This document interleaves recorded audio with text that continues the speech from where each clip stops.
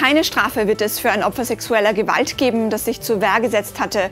Innenminister Herbert Kickl befürchtet eine neue Migrationswelle und die türkische Wahlbehörde hat eine Neuauszählung in Istanbul abgelehnt. Das sind unsere Schlagzeilen heute. Hallo und herzlich willkommen auf Krone TV.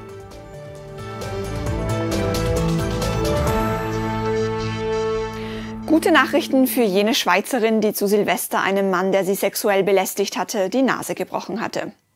Das Verfahren gegen sie wegen Körperverletzung ist fallen gelassen worden. Es wurde ihr gerechtfertigte Notwehr zugebilligt. Aber auch der Verdächtige, ein 20-jähriger Afghane, wird in diesem Fall nicht belangt. Die Schweizerin konnte ihren Angreifer nicht zweifelsfrei wiedererkennen, deswegen wurde auch sein Verfahren eingestellt. Innenminister Herbert Kickl schlägt in einem aktuellen Schreiben an Brüssel Alarm. Es sei wieder mit einem Anstieg der illegalen Migration über die östliche Mittelmeer- und die Balkanroute zu rechnen, meint er. Er bezieht sich dabei auf Daten von der Europol. Demnach befinden sich insgesamt rund 10.000 Migranten in Bosnien-Herzegowina und Serbien, also direkt an der Grenze zur EU. Kickel will daher, dass die Notfallpläne für eine Krisensituation innerhalb der EU abgestimmt werden. Außerdem fordert er mehr finanzielle Unterstützung seitens der EU für effektive Rückkehrsysteme, Informationskampagnen sowie Kapazitätenaufbau vor Ort. Wir schauen ins Ausland und zwar zuerst in die Türkei, wo die türkische Wahlbehörde eine neue Auszählung in Istanbul abgelehnt hat. Eine solche hatte die AKP, die Partei des türkischen Präsidenten Recep Tayyip Erdogan, ja gefordert, nachdem die Stadt in den Kommunalwahlen an die Opposition gegangen ist.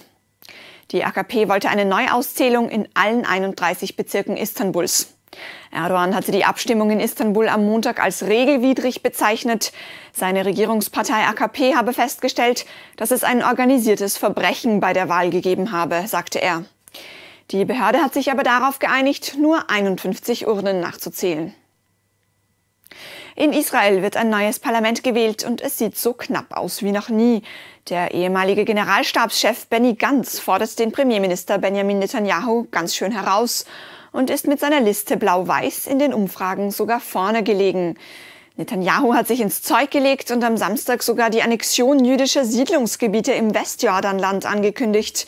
Viele Beobachter haben das als Werben um Wähler am rechten Rand gedeutet. Konkurrent Ganz hat von einem verantwortungslosen Heischen nach Stimmen gesprochen. Es wird jedenfalls ein knappes Rennen um das neue Parlament. Die Wahllokale schließen Dienstagabend. Das war Ihr Nachrichtenüberblick für heute. Ich hoffe, Sie sind gut in die Woche gestartet und ich wünsche Ihnen einen angenehmen und möglichst stressfreien Tag. Schön, dass Sie bei uns sind.